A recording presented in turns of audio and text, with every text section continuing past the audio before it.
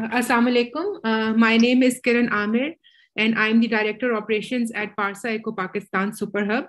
I would like to welcome you all to the first Echo session in series of Hepatology Echo. It's in collaboration with Pakistan Society of Hepatology, and we are thankful to Ferozsons Laboratories Limited for unrestricted educational grant. Our expert for tonight is Dr. Shahid Habib. Before Dr. Daud Gilzai introduces our expert and topic for tonight's session, we have to go through some standard announcements. We are part of a global movement called Project Echo based in USA with an objective to disseminate knowledge and best practices. We do protect patient privacy, so none of the information used in this session will identify any individual or patient. For maintaining discipline, you all are muted, but we do encourage participation, so you can unmute yourself for questions and use the raise hand option or chat box. By participating, you have given the consent for recording and the recorded session will be available on our YouTube channel. Link will be shared by Haris in chat box. By, uh, for CME credits, please contact Uzair, our coordinator. His number is mentioned on the banner. CME credits are affiliated with Jinnah Sindh Medical University. For the convenience of folks, the session is bilingual. Please speak in Urdu, English, whatever language you are comfortable in. I will now hand over to Dr. Daud Kulzai, who is the moderator for tonight's session. Dr. Daud. Assalamu alaikum. Uh, the Dr. Uh, Shahid Habib, he uh, an uh, international advisory member of Pakistan Society of Hepatology, and uh, he uh, is awarded as a Distinguished Academic Services Award from Pakistan Society of Hepatology he is a consultant gastroenterologist and hepatologist, South Arizona Veterans Affairs Healthcare System, uh, Tucson, uh, Arizona, USA. He has particular interest and numerous publication on management of chronic liver disease, liver transplant, drug-induced liver failure, HCC, and its surveillance and NAFLD. He has been awarded with Certificate of Excellence by University of Colorado, Pakistan Society of Gastroenterology, and Certificate of Merit by American College of Physician. Today, he will talk on understanding the pathophysiology of metabolic syndrome with emphasis on nutrition as a key player in causation and treatment of NASH. Dr. Shahid Habib, over to you. Uh, thank you, Bob Shukriya. Uh, thank you for the invitation. It's a really uh, very uh, honorable uh, invitation, and I'm very obliged uh, and, and I'm very honored to be part of this society and in this educational program. Do you guys hear me? Yes, we can hear you. Um, can you speak a little bit louder or come closer to the mic? We are uh, just that it is less audible. We can hear you, but it is less audible. Okay. Uh, thank you very much for inviting me uh, for this invitation uh, for this uh, conference. It's really uh, honored to be part of the society. So just without losing much time, and I'm going to start with my presentation. Now I'm going to be share the screen.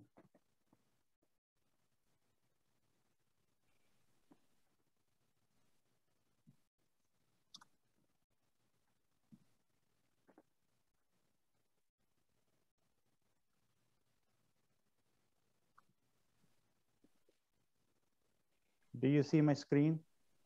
Yes. Okay, so we're talking about the pathophysiology of fatty liver disease. That is a, in itself is a very complex topic and it's very challenging. So I'm gonna go with the, uh, what the basic concept was 20 years ago or 30 years ago and what the concept we have as a key phenomena of the pathophysiology so in 20, 25 years ago, we thought that there's only two hit pathogenesis, meaning that insulin resistance leads to triglyceride deposition in the liver, causing steatosis. and subsequently causing the reactive oxide species, oxidative stress, causing inflammation and fibrosis and the cancer. So this concept has been modified over time. And now it said that basically there's a multiple etiopathogenic factors act in parallel or sequential to somehow synergistic way on a genetically predisposed individual to cause NAFLD and thus defining the spectrum of the disease phenotype. Particularly, some patients will develop NAFLD, just in non-alcoholic fatty liver, and consequently NASH. But others will directly present inflammation, fibrosis, without having significant fat in the liver. So this concept is very different than what we had before. So there's that's one thing I would like to definitely share that. So this is kind of a uh, the paradigm how we learn about the NASH. So it was not a positive direction from learning from the social behavior to the disease. Instead, we come, we encountered a lot of end stage NASH patients dying in the past decade. And that led us to study more about uh, uh, the pathophysiology of NASH, NAFLD and NASH. As you see in this uh, uh, box here, so the obesity or steatosis plus minus genes lead in adipose tissue or the visceral tissue lead to metabolic dysregulation. First starting at the insulin resistance and then affecting adipokines and nuclear receptors. So this is the key uh, pathogenetic factors. And certainly the, it starts from overeating behavior and that led to the obesity. The different phenotypes of NAFL. People can have a fat all over the body. As you can see here, this phenotype, like this phenotype, or you just have the fat in the stomach area, belly fat, truncal obesity. So the skin fold thickness in the abdomen is a good, good measure of fatty liver disease. It's a very strongly associated for the diagnosis of NAFLD, at least. And the people can have the low BMI can also have the NAFLD and the NASH. So there's a huge variation in the phenotype of fatty liver disease. So before we talked about the uh, fatty liver, I just wanted to talk a little bit briefly about the biology of the nutrition.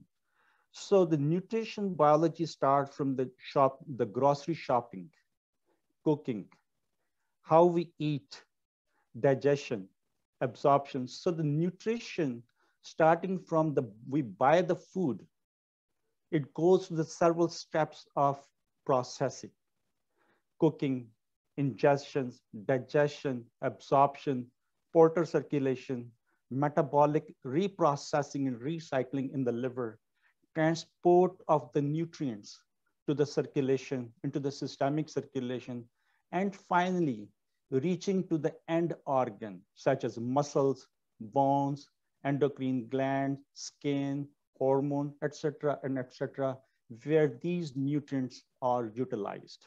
So there's a huge, it's a long process buying from the store to the utilization in our, uh, uh, in our tissues. So this, so when we do that, when we have, the, when we eat food, as I mentioned that it goes to the different stages of the processing. As I mentioned on this slide here, is the digestion, transport, and the transport could be intraluminal transport, transport across the cellular membranes of the intestine. It could be the transport across the portal circulation, the transport across the hepatocyte cell membrane, the transport into the cells, and then further transport into the systemic circulation. So when we things go that every step is actually is independent biologic process. So as you can see that wherever you are, which step of the processing of the nutrition, it involves certain chemicals, whether this is an enzyme or transport proteins or are different uh, modulation of the nutrients from oxidation, hydrolysis, or kind of a other steps. So it changes, it goes through the multiple steps of biologic process. So there are a lot of biologic process going on. And finally, it goes to the utilized in the end organ tissue. These enzymes, the biologic process at any given stage of the process is controlled by the, some of the hormones, GI hormones, and the GI secretions. And these secretions are the gatekeeper of the biologic processes. And these genes are regulated by our genes, and these mediators are regulated by our neurohormonal system. And the neurohormonal system could be the systemic neurohormonal system or the local paracrine system of neurohormonal secretion. So it is controlled by the genes. So the mediators are the key factor that process the food, that control, they are the gatekeeper. If anything happens to these secretions or enzymes, either upregulated or downregulated, they interfere with the whole process, biologic process of the nutrition. And the genes certainly play a background role into that. Uh, in this whole biologic process, insulin has the key role. That's the only hormone, which is the anabolic hormone, and the other hormones such as the serum cortisol and other hormones, uh, other than the growth hormone, they are catabolic.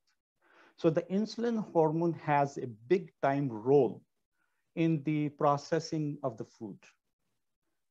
That include the processing as far as into the utilization process, as well as into the processing into hepatocytes. So that has a big time role. So the biggest function of the insulin hormone is to transport glucose into the cell. And also when it gets into the cell, it it regulate multiple functions inside the cell. And it really does not matter what cell is that, whether this cell is the hepatocytes or adipose tissue or it's a muscle cell. It controls multiple functions. But yes, there is a variability in the intracellular function depending upon the tissue, whether this is adipocyte, hepatocytes, or the muscle. And these are the three tissues which are hormone sensitive, like insulin hormone sensitive. So on this side here, you see the insulin hormone, insulin receptor, and this is P uh, phosphoinositol 3 kinase enzyme here. So this is the main, and this lead to AKT signaling. And this AKT signaling affects the mTOR inflammatory process, glycogen synthesis, and other metabolic functions and the cell growth. This cycle, which I'm showing here, is basically control the cellular growth. So in nutshell, what I'm saying is that is a uh, insulin hormone is a key hormone that controls all the intracellular metabolic functions and also the regeneration or the growth of any individual tissue cell. For example, it could be uh, it could be colon, it could be any other organs too and the insulin hormone is secreted. There is a, when we eat food, the, the, the amount of glucose getting into the systemic circulation, it, it's very important. Amount and the duration. How quickly the blood glucose rises is the, is the key factor. If it is rising very instantaneously, like eating high glycemic food, has a delay in the secretion of the insulin because it is not secreted by the GLP. The GLP incretin hormone is the key hormone that regulate the insulin secretions. And the GLP not only causing the insulin secretion, but also affects the other organ or utilization of the uh, nutrients. So it has a dual function. So for example, when we eat foods such as the juices, which are instantaneously absorbed in the mouth, lead to hyperglycemia within few seconds. So that instantaneous hyperglycemia does not affect the incretin hormone secretion because the incretin is secreted by the small bowel. And it's also secreted and it functions in the portal circulation where it is deactivated and it is released very short, short term. And it's deactivated by the DPP4 enzymes. So it's a very short-term release leading to the affecting that in the beta cells that is shown here, the pathways, and that causes the insulin regime. So when you eat high glycemic food, the insulin is secreted, the blood glucose get high first, and it does, it, there's a delay in the stimulation of the beta hormones, the beta islet cells in the pancreas. And that insulin secretion is directly stimulated by the glucose, not by the incretin hormones. When we eat fruit, for example, or some food, which takes time to be get digested, and it releases the glucose slowly, that where the incretin hormone gets uh, stimulated, and that's where it's a more stable utilization of the glucose. And then you have additional effect of incretin hormones in the metabolic system. So the action of the glucose are mediated by the insulin receptor 1 and insulin receptor 2. And now again, I wanted to highlight two things here. So insulin receptor 1, there are two different receptors. The insulin receptor 1 functions when we eat food, the postprandial processing of utilization of the food, glucose. The insulin receptor 2 functions when we are in a fasting state. So both are independent processes. So when the both are independent processes, they change the intracellular mechanism of the insulin. So when we are in the fasting state, the, the function of the insulin actually stimulate the lipolysis and utilization of the fat to be used as an energy in the muscle cells. So the function changes dramatically, intracellular function changes dramatically, whether we are in the postprandial state or in the fasting state. So the two separate mechanisms, both works by the insulin hormone. So what is the insulin resistance? How do we define the insulin resistance? Insulin resistance is the time how quickly we dispose of the blood glucose into muscles and the fat tissue. So the time needed to dispose the blood glucose in a fixed dose manner. So the slow rate of disposition of the blood glucose by the insulin hormone to muscle and fat tissue is called insulin resistance. So it needs more insulin or more time to dispose of the certain amount of the fixed amount of the blood glucose level. So that's where it leads to abnormal transformation of the carbohydrate sugar into the fat. So when we eat food and somebody has an insulin resistance, so it means either it's going to take long. And second thing is that it requires more insulin. And because the blood glucose rises very quickly, like 300, 400 range, it is a flood. It's an emergency situation, is a, is a code blue. So the body says that, okay, store this sugar regardless what, whatever the manner is. So this liver stored, all the sugar is converted into fat, and that is called de novo lipogenesis, which I'm gonna discuss in a minute. Or the fat is stored, or the sugar is, and sugar is converted into the fat by the endothelial cells and it is stored as fat. So the endothelial cells perform the same function as the liver cells to convert the sugar into the fat.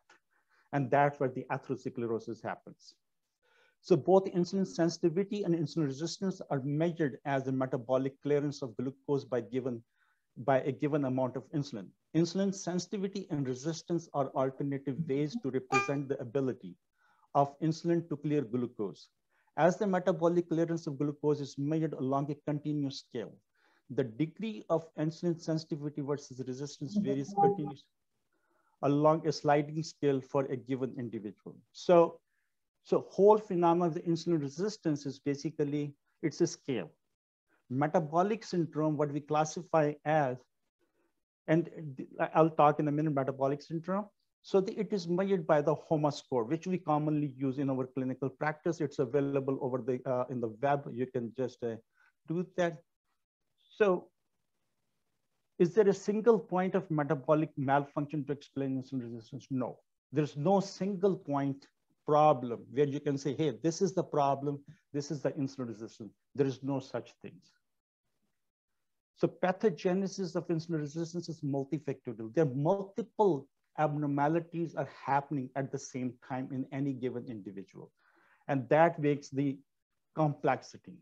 So when on the scale of insulin resistance, when we see the certain parameters clinically, for example, high triglyceride, high blood glucose, uh, high um, um, truncal obesity, coagulation defects, and type 2 uh, diabetes or high blood pressure, we call is a metabolic syndrome.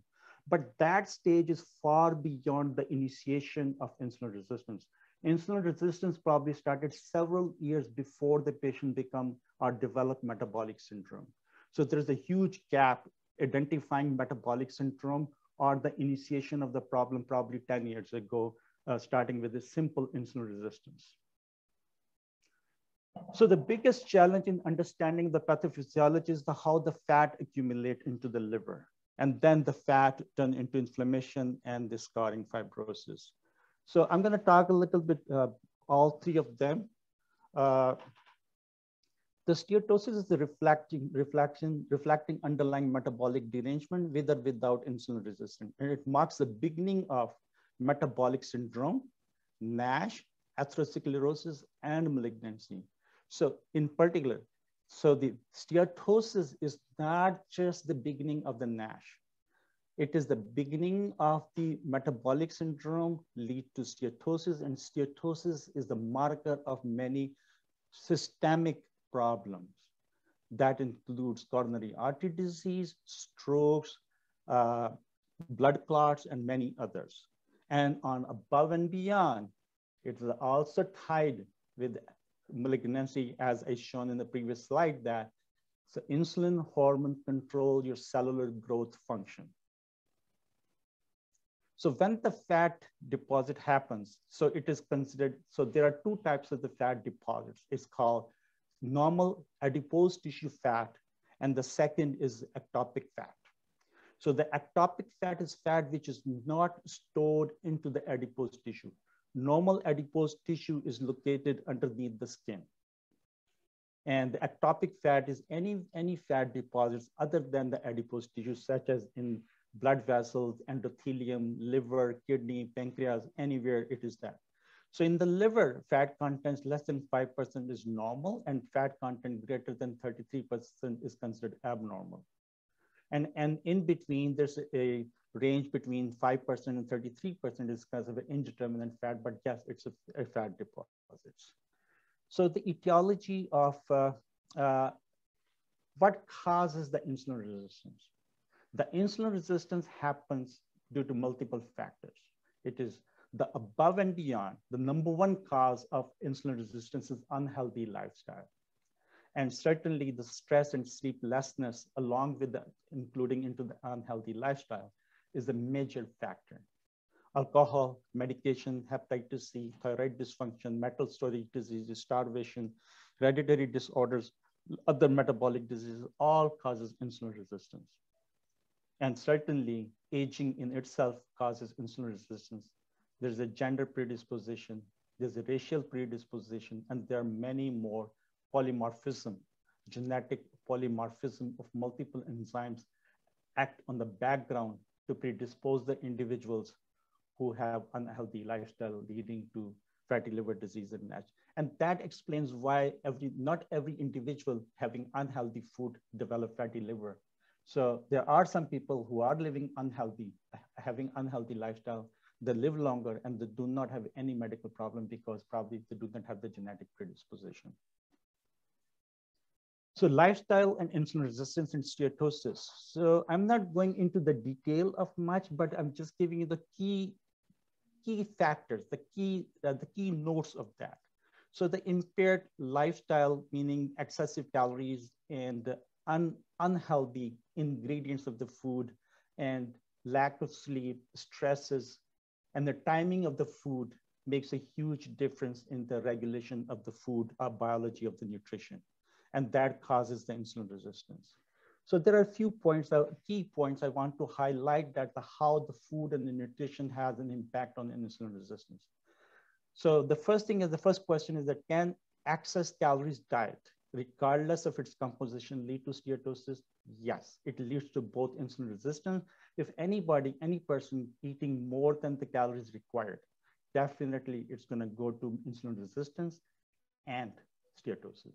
Number two, can isocaloric, isocaloric means that you are consuming the calories what your body needs that. For example, 1500, 16, or whatever your the basal energy expenditure is, you are consuming the same amount of calories with modulation.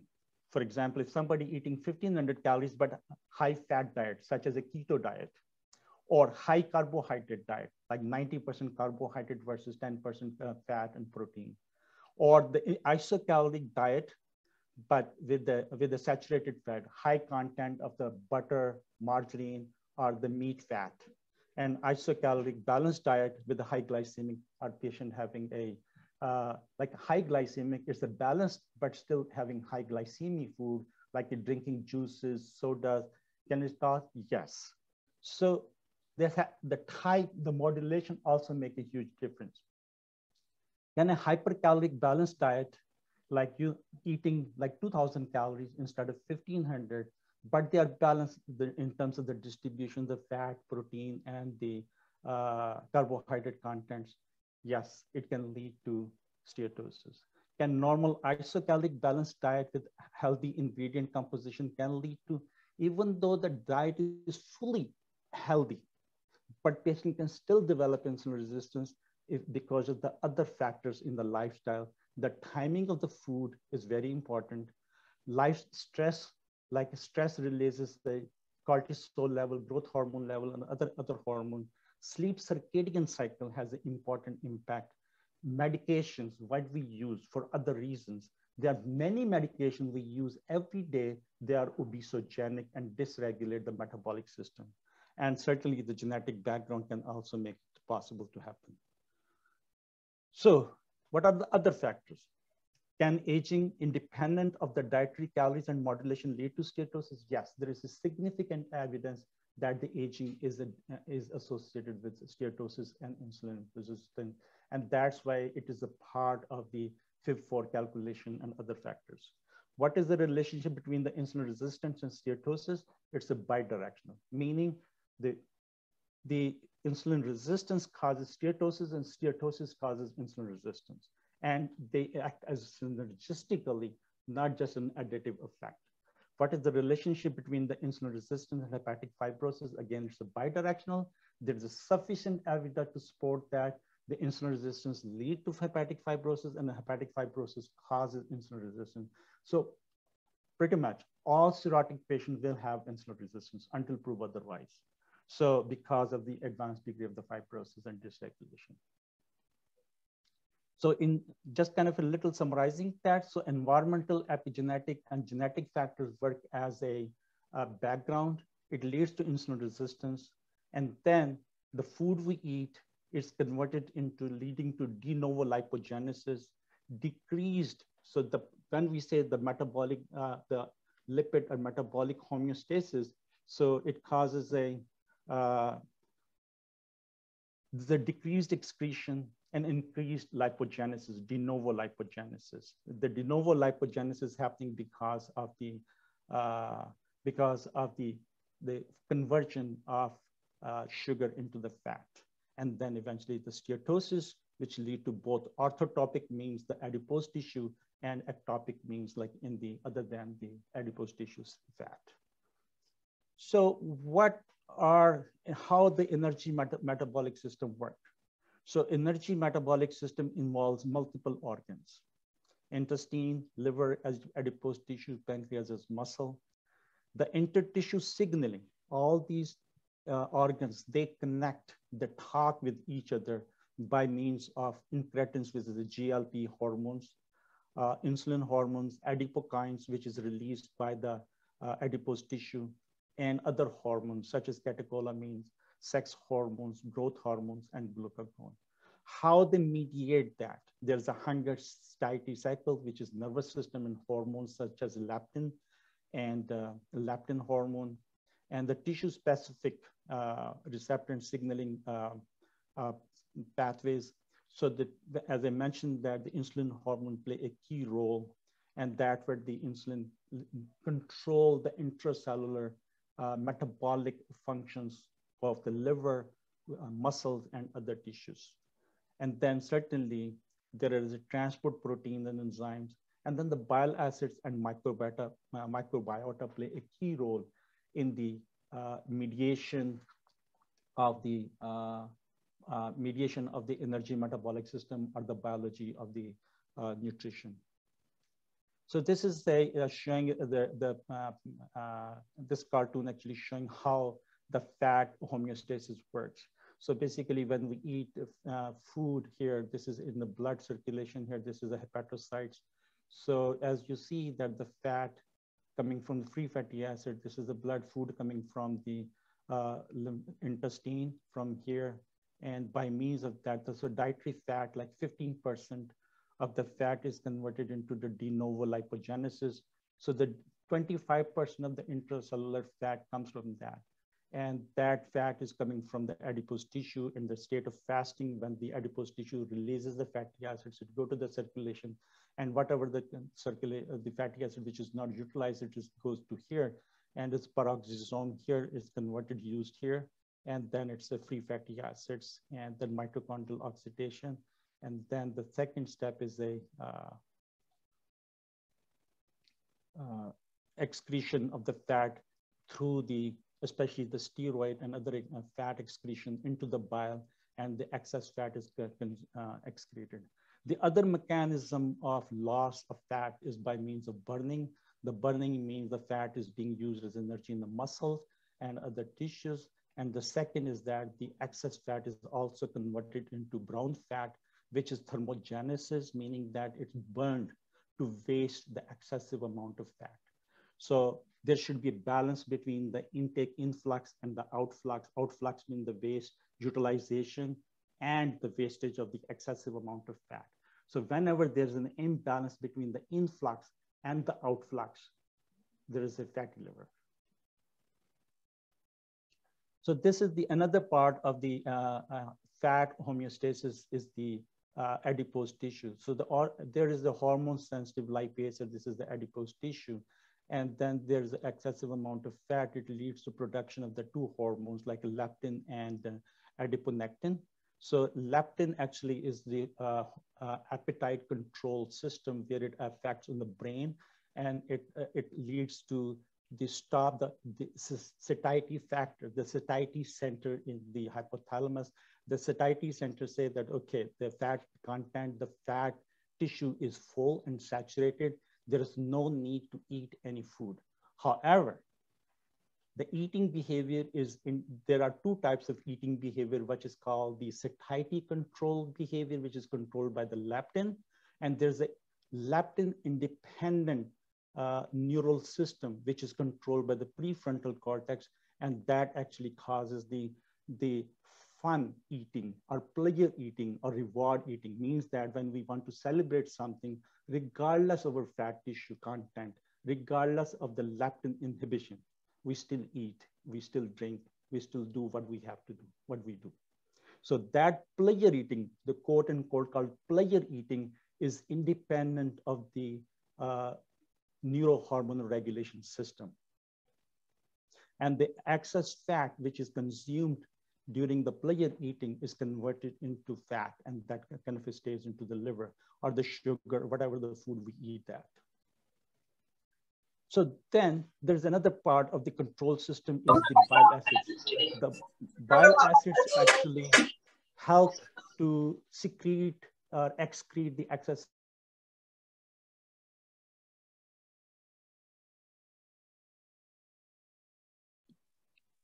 Shahid, you have uh, muted yourself. Please unmute yourself. Yeah. Do you hear me now? Yeah, we can hear you. Thank you. Yeah. So the bile acids are have a multiple role here. They, certainly, we know that the, for a long time we know that the bile acids work as a uh, me, uh, as a uh, as a, a mediator to digest the fat in the intestine. However, there are many more functions of the bile acid, what we learned recently. It actually not only controls the uh, digestion of the fat, but it also causes the function, metabolic functions of carbohydrate and fat in the hepatocytes and adipose tissue and in muscles. So it has a way longer. So when we eat food rich in fat or glucose or sugar, so when the it stimulates the bile flow and it it actually coordinate with the amount of the bile acids needed to help to digest and utilized eventually is controlled by the bile acid system. So that bile acids are produced or controlled by the nuclear receptors. And there is a lot of effect and dysregulation of bile acids by the dysbiosis, now which I'm coming to that.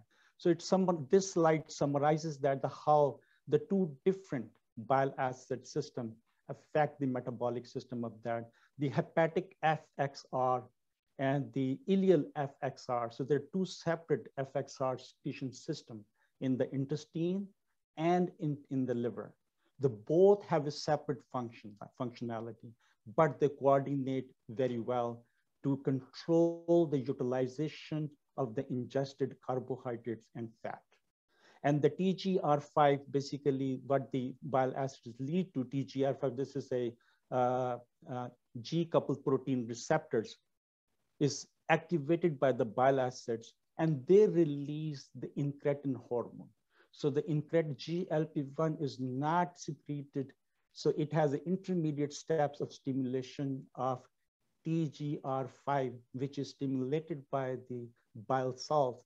And TG, uh, TGR5 leads to incretin hormone, GLP-1 secretion, and GLP-1 causes the insulin secretion, and insulin leads to improved insulin sensitivity and utilization of carbohydrate and fat. So it's a very complex cascade of events. And then uh, certainly the, the TGR5 also causes in the muscle and adipose tissue increased burning thermogenesis and utilization of excess the food we eat that. So when we eat food, the body gets ready for its utilization to be disposed of, to go through the whole process.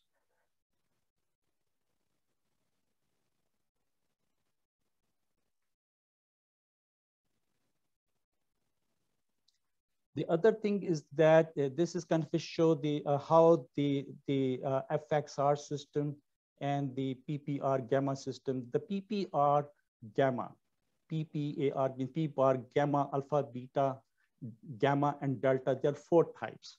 And this is a peroxisome proliferator activator receptors. So basically peroxisome is intracellular uh, uh, uh, organelle, which actually has the capacity to process the ingested carbohydrates to convert into fat. That is the organelle where exactly the lipogenesis happens. And every fat that comes to the, uh, from the adipose tissue is also processed in the peroxisome. And the function of peroxisome is controlled by the PPAR. And the PPAR is controlled by the genes and controlled indirectly through the nuclear receptor PPAR gamma receptor, PPAR receptors. So if the PPAR is not activated, so certainly the processing of the glucose and the fat will not happen normally. And at the same time, the PPAR gamma function is different in the liver as opposed to in the muscle tissue. So there is two separate systems. So the PPAR gamma affects more of muscle tissue, whereas the PPAR alpha affects more of the hepatic tissue. So there is a huge uh, difference in that. So that's why so the PPAR gamma target medications are like the Actos, which is PPAR gamma, which helps to dispose of more sugar and the fat utilized by the muscle. That what is improve the sensitivity of that. So that's why it does not cause fatty liver. It releases the fat, it releases the fat from the hepatic tissue and being utilized by that. And the PPAR alpha, which is kind of have the different effect, uh, which is kind of utilizes the triglycerides, get off of that, and it can burnt by the beta oxidation system into the cells. And leading to decreased. So one way it increases the excretion through the utilization by the beta oxidation system. The other kind of it uses the beta gamma, uses the more utilizes, utilization of muscle tissue. So there's a new concept that the combination of beta and alpha drug, such as the fenofibrate and Actos together, they can work better as opposed to each in the NASH and fatty liver disease.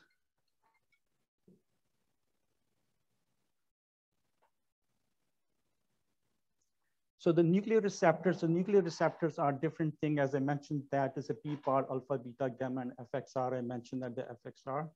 So in an in accumulation, the net effect is the accumulation, how the fat happens, the fat accumulates, the steatosis happens whenever there's a more influx, when we eat more than what we need. And then there's impairment in the excretion or utilization of the fat by the body. So the imbalance lead to the hepatic steatosis or overall steatosis of the body. And certainly the utilization could be either impaired by the beta oxidation process or excretion into that or into the thermogen impaired thermogenesis or burning of the fat. And above and all, so there's an impaired function of the bile salts because if the bile salts are not working, then certainly there's a, uh, the incretin effect will be lost. So GLP will not be secreted and there will be more blood glucose to be, uh, to be disposed of and resulting into the abnormal fat accumulation or de novo genesis. So next step is the inflammation and fibrogenesis. So the I this is here the dysbiosis.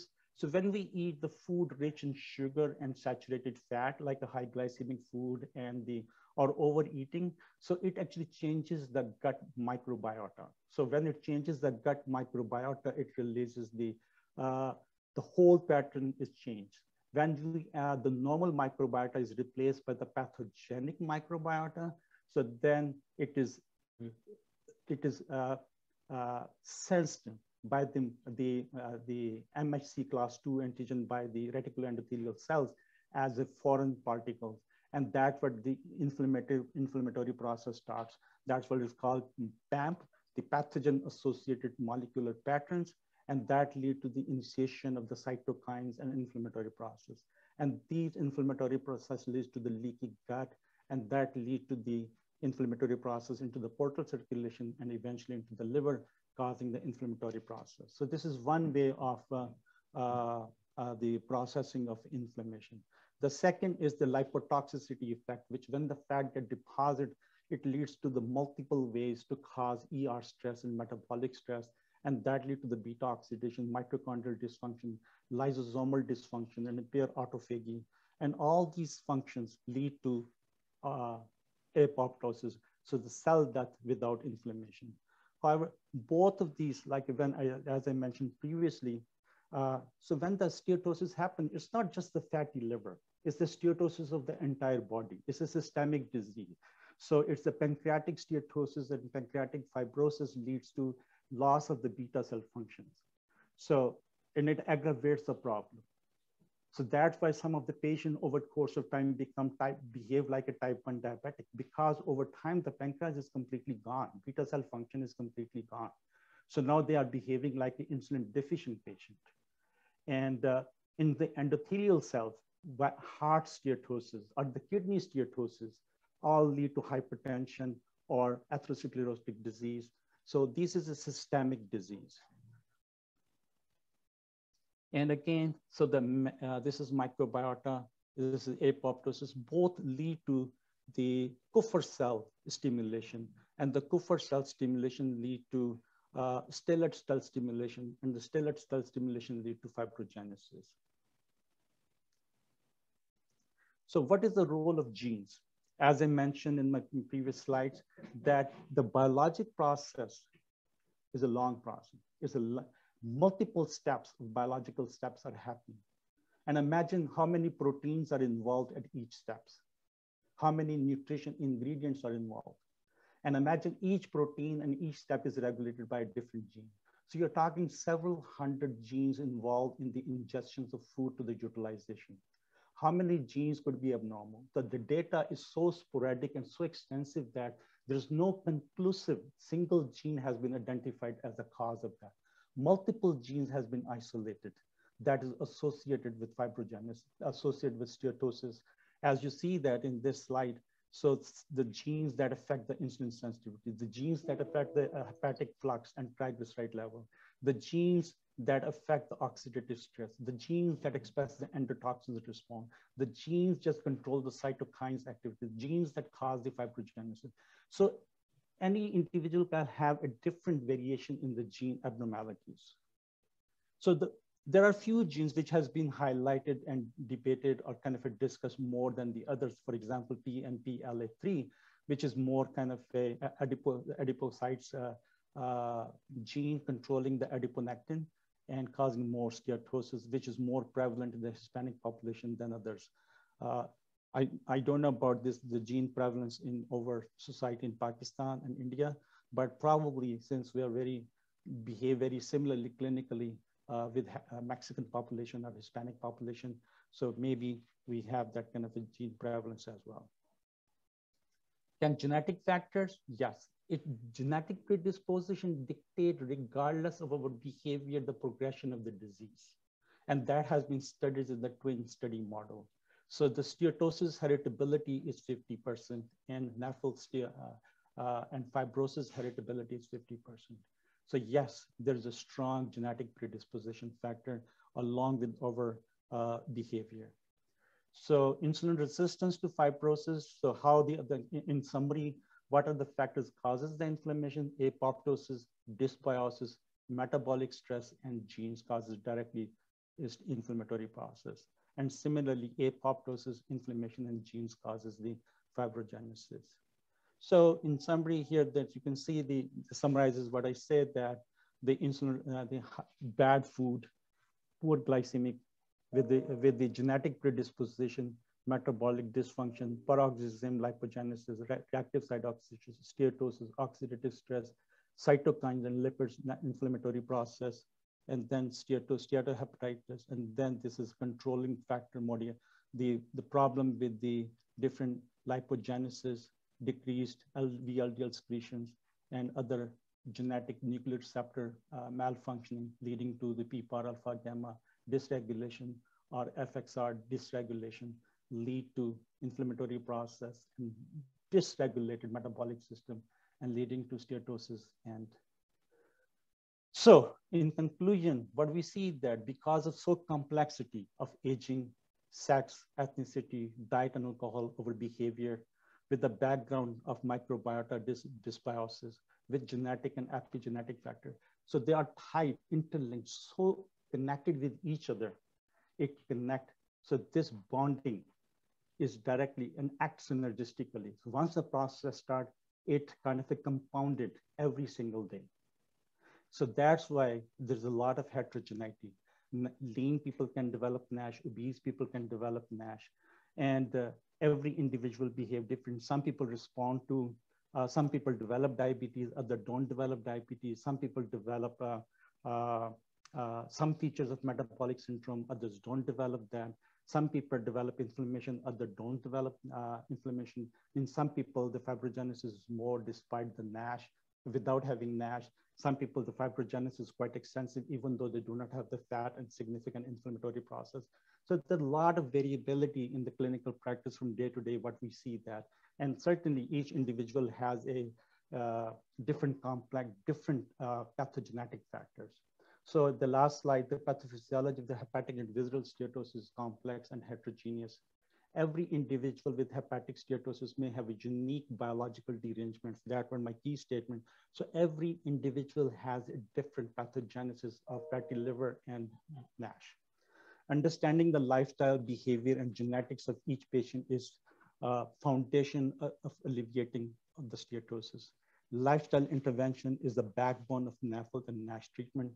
Pharmacotherapy would be individualized based upon the behavior metabolic, genetic aggressiveness of the disease and stage of NAFLD and NASH. And that's end my dictation, oh, my presentation. Thank you. Thank you, Dr. Shahid, for a nice and uh, elaborated uh, talk on the pathophysiology of metabolic syndrome, which is a future pandemic.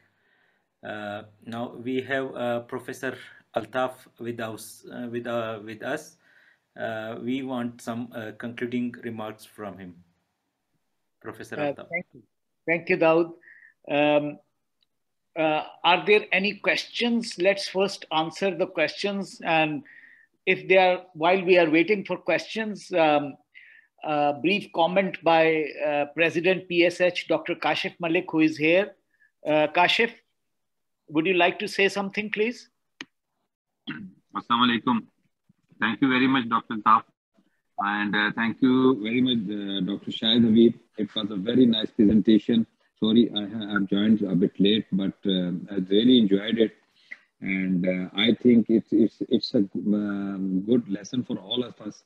And we should look for this uh, metabolic syndrome in our society and along with this fatty liver disease. So if there are any questions and uh, from the audience, and uh, then we can discuss it. Other than that, it's um, all over from my side, sir. Thank you very much. Uh, Dr. Noman Zakir from PKLI is here. He's a very senior uh, hepatologist. Noman Saab, do you have any comment to make, please?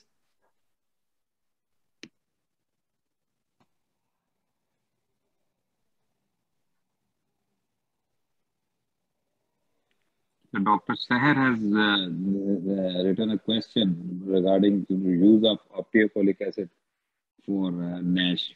One, I think she has just written yeah. chat. Obeticholic acid, uh, Shahid, um, OCA.